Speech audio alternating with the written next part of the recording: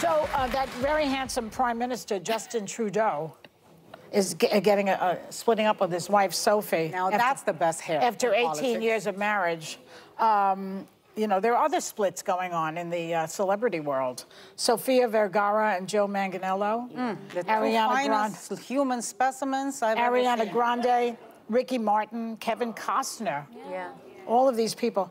Um, so these high-profile splits are coinciding with an uptick in divorces, not across the United States. It seems as though divorces come in like spurts. Like when I got divorced in 1980 or something. I don't even remember.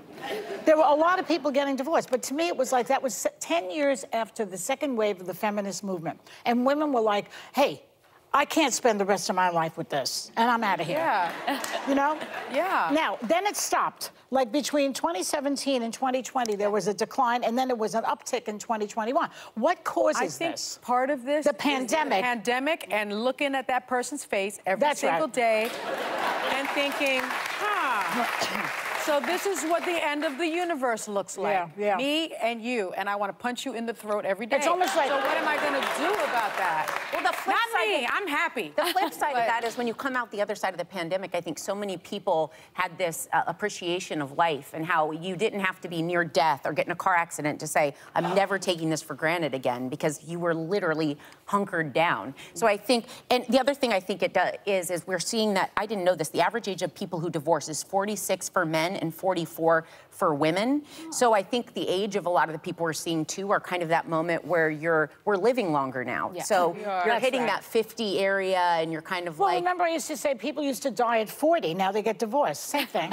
Yeah. There's Because a people death. are living well Yeah. into But their it's- it- 90s and they're wi- living health- healthily. Now imagine you've got to look at this face for another 50 But it's, I mean, it's, Tough. that's right. I mean, because, you, you know, we, it, it's now where an 80-year-old is vibrant, is full of life, is, is having Some. quality Let's of not life. point fingers.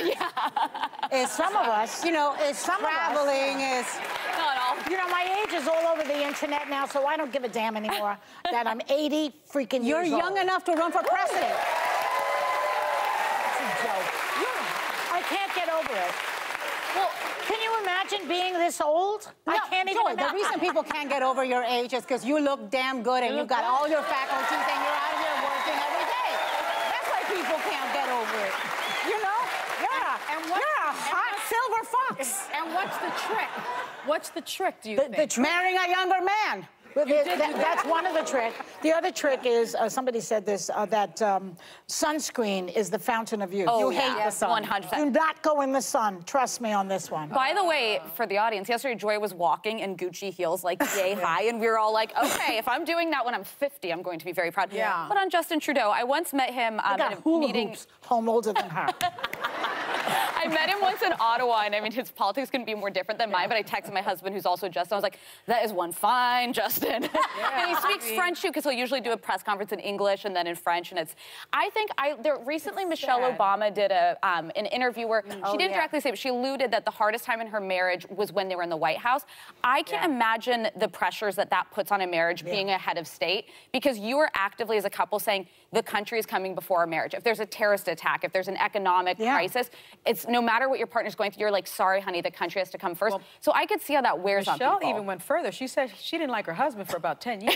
Yeah. I mean, but a lot of these really- people really not on only say the country, the, the country, they say my party comes Right. before the country, and then the wife. Mm-hmm. Well, and, and these And we know who they are. Marriages in general, the Yeah. outside of cameras, are very hard. If you if you want a long one, you're going to put work in. You're going to evolve. You're going to grow together, and there are going to be times you don't like each other, or as Sunny said, you want to punch them in the throat.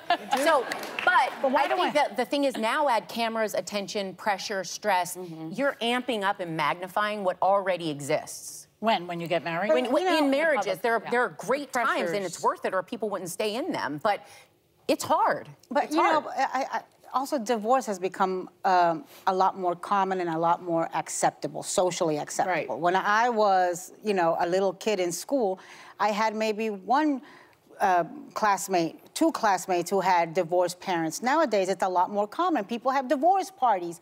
People uh, don't Divorce see it registries. divorce registries. They don't see it as you know as as the end of their lives, as something to be crying over. They you know look at Shakira. She's like, women don't cry anymore. They make money. The only thing I would caution, being, I'm not the only one who's divorced here?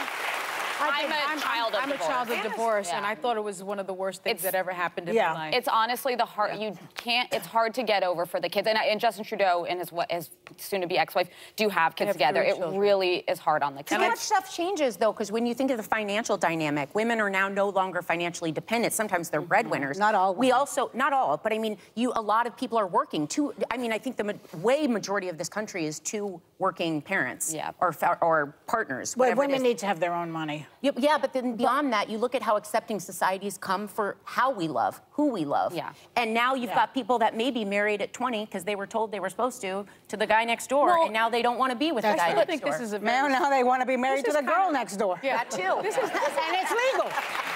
and they can be their true selves. still, I think, a very sad thing as a, ch- of an- another child of divorce. And that's, I mean, I'll be married 25 years, August 8th of this year.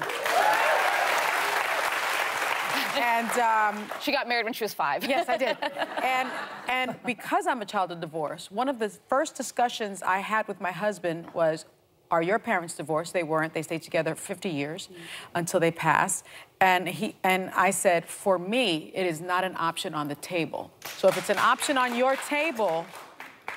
You can't marry You someone can't like predict me. the future. You don't Yeah. know what the options are down the road. There are I do that like- you're that's what I really believe. I, I agree, but I do like as partners going into it. I had the similar conversation Yeah. because I was scarred by my parents' divorce. I said, we're not using that word. We are entering Yeah. with the commitment we're in lifelong in this for our life. Yeah. Now I don't fault anyone. I've had many good friends who are divorced. Sometimes it's the right thing, but I want to enter my marriage committing that that's not Yeah, but you know what? It's a, it's a viable option for, for Yeah. people now. And some people it is. You're the right not in a situation. I was not unhappy, happy, but I was growing apart. Yeah.